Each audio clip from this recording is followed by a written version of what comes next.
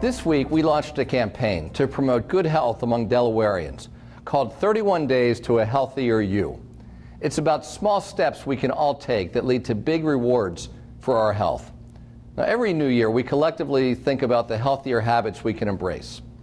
And as we launch this campaign here at the Central YMCA in Wilmington, it's great to see so many people committed to the cause of good health.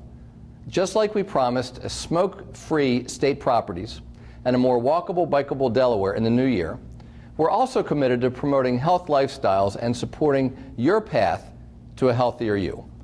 It's not about starting a daily three hour grueling workout or signing up for fitness classes that you can't keep up with. It's about small, sustainable changes that will add up over time.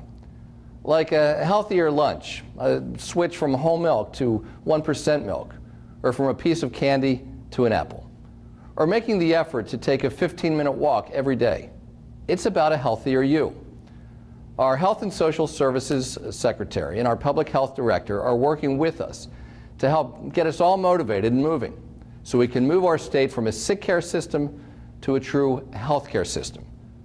So you'll start seeing messages on Facebook, Twitter, YouTube, and other social media channels. We hope you'll do something for yourself and encourage others who don't think that they can do it to adapt a healthier change as we work together to live healthier, longer, and better lives, keeping one another and Delaware moving forward.